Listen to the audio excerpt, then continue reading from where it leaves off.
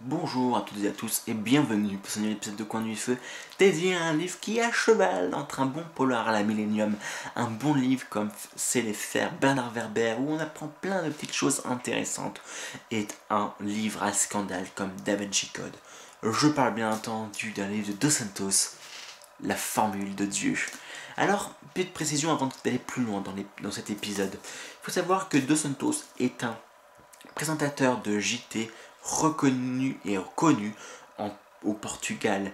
Et ce qui fait que son personnage principal, son personnage phare dans ses livres, possède un prénom et un nom portugais. Et je ne parle pas portugais, donc je vais écorcher son prénom et son nom et j'en suis désolé.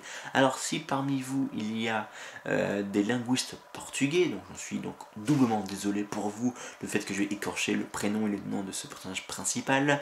Mais si vous avez euh, quelques minutes à m'accorder, que vous voulez me donner quelques petites informations sur comment lire euh, le prénom et le, nom de famille de ce personnage principal à moi mais aussi aux autres potentiels lecteurs qui regarderont cette vidéo, eh bien, n'hésitez pas surtout. Mais sur ce, je vais vous lire le résumé de ce livre. Le Caire de nos jours. Le cryptologue portugais Thomas Norona te voit confier le décryptage d'un manuscrit original. Son nom? Dicotus Formel, la formule de Dieu. Son auteur Albert Einstein lui-même. L'enjeu, le mode d'emploi d'une bombe nucléaire surpuissante. Précipité malgré lui au cœur d'une affaire d'espionnage international, Norona plonge dans les secrets de l'atome et dans un, mystère bien plus grand encore. Alors, avec livre de Santos, je ne sais jamais si c'est un roman, un polar, un policier saupoudré d'informations pédagogiques, j'ai envie, envie, de dire, ou si c'est un livre, un manuel, un livre pédagogique, saupoudré d'une petite enquête policière, juste pour le simple plaisir d'en faire une. Pour le cas de la formule de Dieu, c'est la première possibilité. Une vraie bonne enquête policière, un bon polar, c'est ce livre. Saupoudré d'une histoire d'amour, saupoudré de chaînes d'action incroyables et d'une histoire haletante qui nous emmène d'un point A à un point B en un rien de temps, comme dans un claquement de doigts. Et je pense que c'est un très bon livre. Alors je vous disais que Dos Santos était un journaliste. Eh bien oui, c'est un très bon journaliste. Et même, j'ai envie de dire, dans ce livre-là, on ressent le journaliste, on ressent l'âme du journaliste, puisque dans ce livre, il a interrogé des experts euh, dans différents domaines tels que la science, tels que la géopolitique et tels que la spiritualité et la religion pour écrire un livre qui a du sens, qui est vrai, avec des informations vraies. Et c'est ça qui est intéressant justement, et qui est un petit peu un clin d'œil, on va dire, au livre que peut faire Bernard Werber, puisque, eh bien, on apprend plein de choses qui sont vraies, qui peuvent être même être utiles, que ce soit dans des soirées mondaines pour impressionner ces demoiselles et ces demoiselles, ou pour euh, durant nos études ou pour euh, diverses autres raisons parce que ce livre là eh bien, nous explique plein de choses d'un point de vue les problèmes, des problèmes scientifiques via des formules telles que les secondes lois de la thermodynamique, une loi qui dit à ceci près que euh, dans un système clos, le chaos, c'est-à-dire le, désordre qu'il y a dans ce système ne peut faire que augmenter, ce qui fait que l'univers va soit s'effondrer en lui-même dans un Big Crunch ou dans un Big Bang, soit va geler. Et des problèmes géopolitiques avec euh, l'Iran, le Moyen-Orient, le Proche-Orient, et quel est l'effet si euh, cette, euh, ces nations avaient un papier ou quelque chose qui permettrait bien mettre de bateau dans les roues dans une à la première puissance internationale, mondiale, que ce soit économique ou militaire qu'est les États-Unis, et donc tout ce que va faire les États-Unis pour les en empêcher d'acquérir cette connaissance ou euh, cette partie de, cette puissance euh, possible de les déstabiliser sur le plan international, mais aussi spirituel et religieux. Et c'est pour ça que euh, j'adore ce livre-là et que je le conseille à, je dirais presque la totalité d'entre vous. Alors, pas la totalité, parce que c'est un livre qui est quand même assez gros, assez épais, qui pourrait eh bien couper dans l'élan les jeunes lecteurs qui ne sont pas habitués à lire des livres.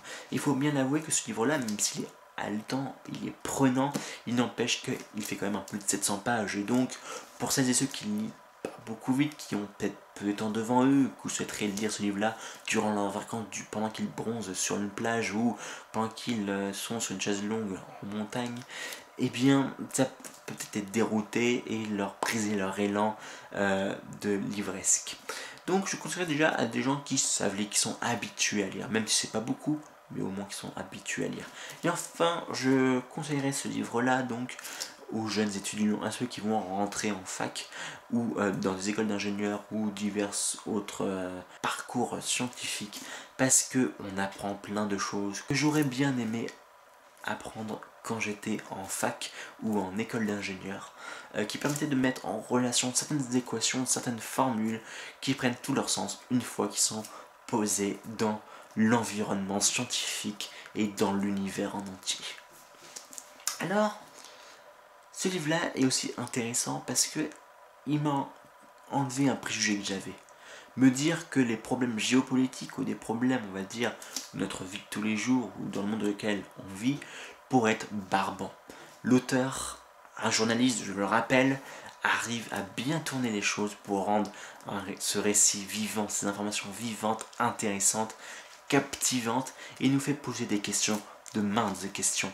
Et la question que je préfère, bien entendu, c'est la dernière, celle qui nous donne une vraie claque métaphysique, j'ai envie de dire, à l'instar de livre de René Descartes sur euh, ces méditations métaphysiques.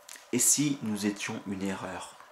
D'un point de vue biologique, d'un point de vue scientifique, les probabilités pour que nous existions, que je puisse vous parler à, travers cette caméra et vous entendre directement via cette chaîne YouTube ou via Internet, était une chance sur 4 milliards de milliards de milliards. Bref, une chance infinitésimale. Et ainsi, peut-être que nous sommes issus d'erreurs. Peut-être que nous sommes issus eh bien, de conséquences, de conséquences, de conséquences qui étaient fortuites, toutes fortuites. Et ça permet de remettre, tout ce livre-là permet de remettre tout ça sur la table et de nous dire, eh bien, peut-être que nous ne sommes pas si importants que ça finalement peut-être qu'en fin de compte, eh bien, il n'y a pas Dieu qui est venu, qui a été créé ou qui, qui a existé, qui est omniprésent, omnipotent, omniscient, qui a dit je veux créer des humains et pouf, les humains ont été créés pour pouvoir gambader dans la nature et faire tout ce qu'ils ont envie de faire.